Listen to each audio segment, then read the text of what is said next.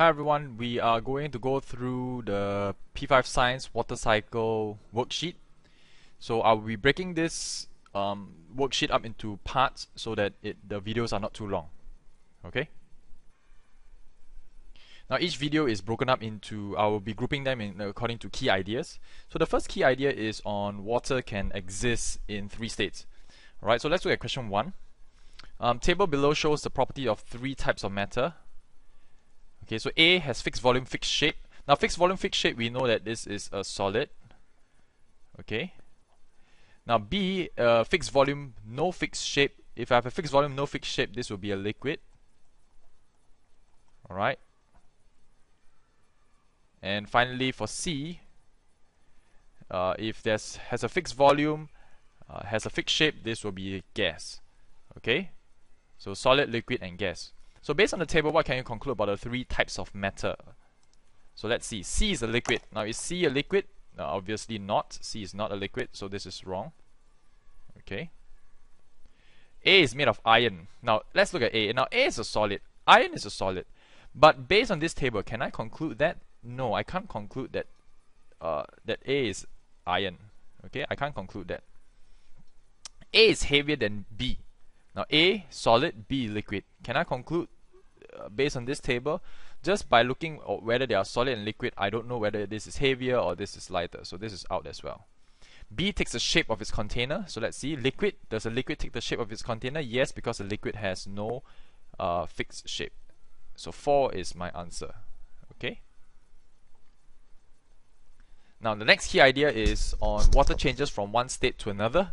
So which of the following properties of water allows the water cycle to occur? So basically what I want is water cycle and how it occurs.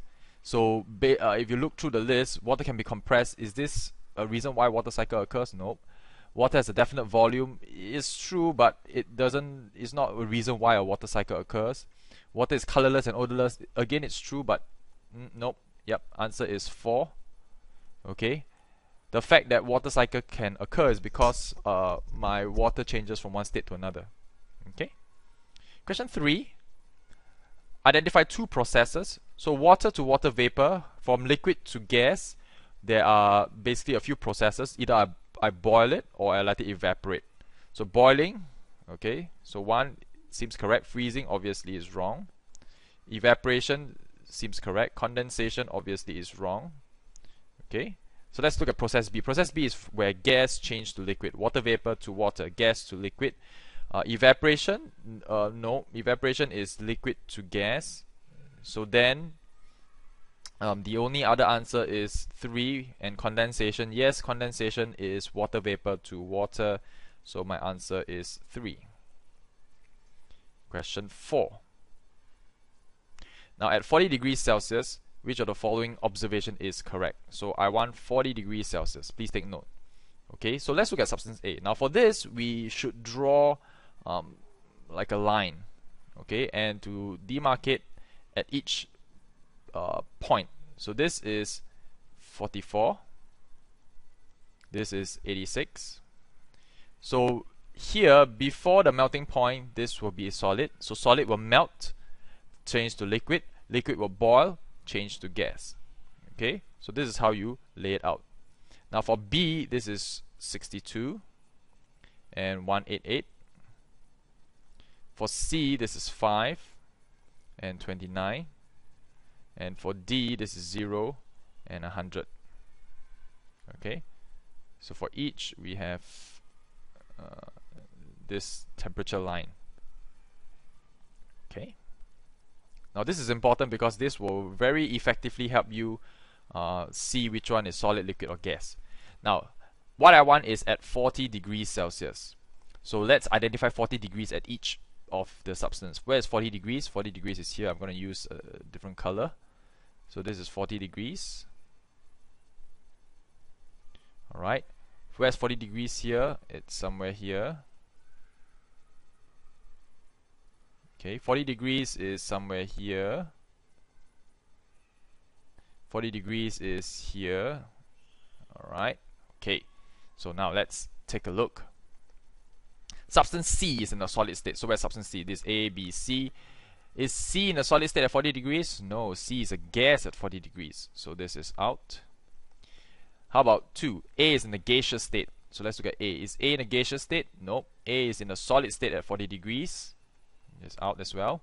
Number 3, B and D are in the liquid state. Okay, so let's see. B, nope, B is in a solid state. Mm -mm. 4, A is in a solid state while D is in a liquid state. So let's see. A, solid state, okay.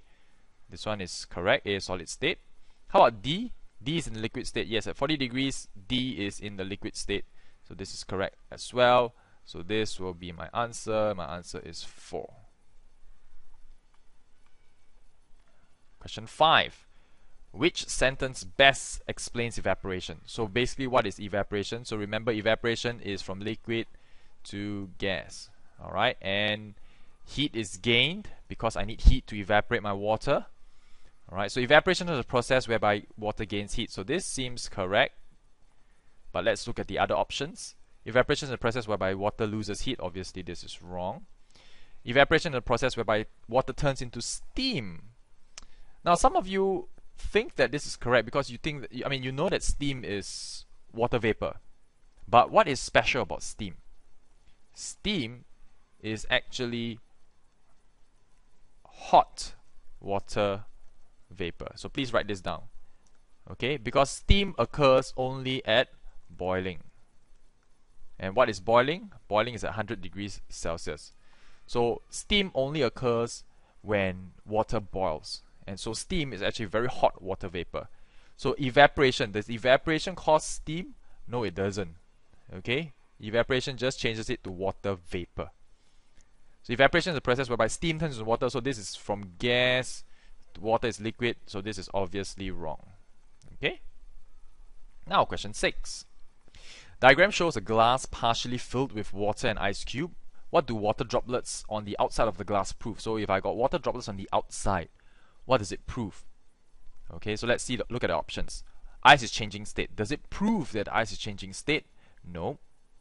Water vapor condenses on the glass? Yes. Okay, so the reason why I have water vapor outside is because this becomes very cold. This is the cooler surface. Okay, and you know that evaporate or condensation occurs when the uh, water vapor comes in contact with a cooler surface it loses heat and changes to water droplets. Okay so reason is 2 seems to be a correct answer. Water vapor condenses on the glass. Temperature of the air outside is lower. No. Okay it's the cup that is lower. That's why when it condenses it's the cooler surface. Water droplets come from the water inside the glass. Obviously this is wrong. This is wrong because the glass is waterproof so the water cannot come outside. Okay so my answer is 2 right let's look at question 7 the table below shows the melting and boiling points of three substances. Um, Tharman mixed them into a beaker of water under room temperature. Okay so a few keywords here. So room temperature. Hmm. okay can't do that. So room temperature. Now room temperature is about 25 degrees Celsius to about 35 degrees Celsius depending on the time and day and the weather. Okay, roughly about there, so roughly about 30 degrees. Okay, and place it under heat. So I have this mixture of water with X, Y, and Z and I put it under heat. Now, so the part A, what is the state of substance Y and Z under room temperature? Okay, so once you see this kind of a table, again, we have to do like what we did for the other question. Okay, so let's look at the melt the different points. So melting point is 5. This is 67. Before melting point, this will be a solid. Melting point will cause it to melt. It changes to a liquid. Boiling point changes it to gas. Okay, so this is a very common diagram that you must always be doing for questions like these. So 20 degrees, and this is 2, 5, 0 degrees. And the last one is 40 degrees and 80 uh, degrees. Okay, so let's identify room temperature. So I'm going to use red. Room temperature is about roughly 25 to 35. So where's room temperature here? So room temperature is right about here. Okay, 25 to 35 is right about somewhere here in the middle. 25 to 35 is somewhere below here because this is 40 degrees. Okay? So what state is Y and Z? So let's look at Y. What state is Y? So Y is liquid. Z is a solid. Okay, so that's what your answer will be. So Y is a solid, uh, sorry, Y is a liquid and Z is a solid. Now part B. Now, okay, this is a question that some a lot of you are a bit confused. Huh? Tharman wanted to collect pure water from the metal tray in experimental setup. So in this setup, he wanted to collect pure water. So he's supposed to list the steps and explain clearly how this how Tharman can achieve his objective. Now, what you need to take note is there are these three substances mixed together with water. I want to extract it, and the only way I can do is to boil. Why? Because my boiling point for the different substances is different. Water, I know that the boiling point is 100 degrees. But you look at X and Z, their boiling point is different. So that means at 67 degrees, X will start to boil first. Okay, and when it boils, it changes to, into gas. At 80 degrees, Z will be the one to start to boil, and it will it will change to gas as well. And only at 100 degrees, then water is the one that is boiling. Okay, now Y will take a very high temperature to boil. So basically, Y will always will be basically remaining inside here, while water X and Z evaporates. Uh, uh, sorry about that. So like I said, so while it is boiling, X will will boil and will change to gas first, followed by Z, and then followed by water. So if I can allow X and Z to boil off, that means let the water vapor, let the the vapor or the sorry, let X the gas of X and gas of Z um, escape into the air, and only at 100 degrees, I'm going to trap the water vapor the water vapor for water and condense it and change it to water droplets and that's how I collect pure water. Okay so I mean it's a bit confusing so I'm just going to show you the answer and I will continue to explain it. So the explanation is wait for the temperature to go above 80 uh, this is degrees Celsius. I can't really type in the degrees Celsius. 80 degrees Celsius whereby X and Z would have turned into gas. Now then wait for the temperature to reach 100 degrees Celsius and then place the tray, this metal tray, above the beaker so that you can collect these water droplets forming on the tray. So basically that's how you uh, collect the pure water. It's, it's, it's quite simple.